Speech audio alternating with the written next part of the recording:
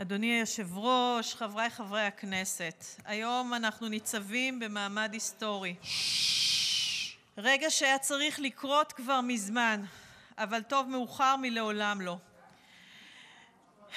לאחר חודשים ארוכים של מאבק ולמרות לחצים בינלאומיים חסרי תקדים, אנחנו מביאים להצבעה בשעה טובה את החוק לאיסור פעילות אונר"א בישראל. אני מבקשת להודות לחברי הכנסת שהובילו בגבורה ובעוז מעוררים השראה את החקיקה החשובה הזו. כולנו הבנו שהגיע הזמן לשים סוף לצביעות.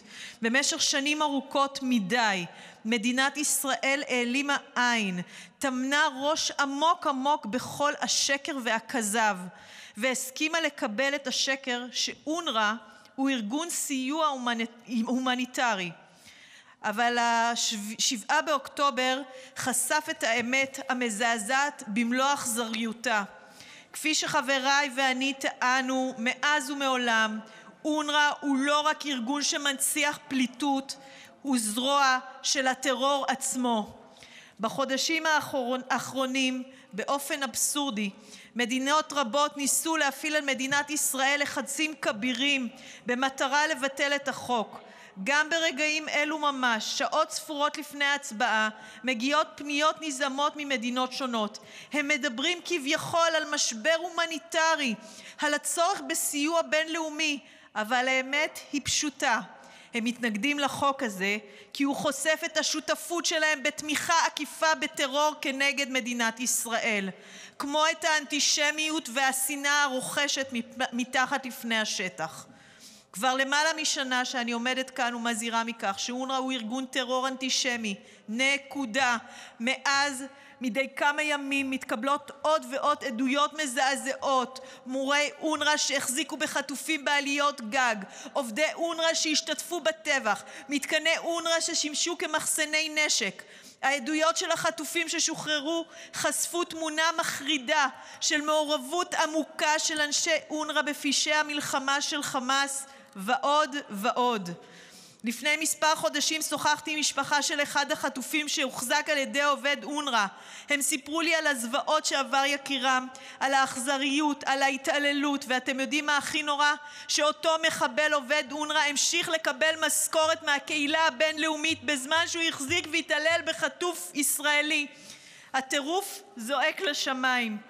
החוק שאנחנו מצביעים עליו, היום הוא חוק שעושה צדק היסטורי עם העם והמדינה שלנו. אונר"א לא יפעל יותר בשטח ישראל ועובדיו, ועובדיו יאבדו כל חסינות. והכי חשוב, נשים סוף לאשליית זכות השיבה המדומיינת שתכליתה להשמיד את מדינת ישראל. כן, לא אופתע אם יהיו מי מאומות העולם שיטענו שהחוק הזה קיצוני מדי, שהוא כביכול פוגע בסיוע ההומניטרי. אבל אני שואלת, באיזה סיוע הומניטרי מדובר? האם החזקת חטופים והתעללות בהם היא סיוע הומניטרי? האם אחסון טילים ואמל"ח בבתי ספר זה סיוע הומניטרי?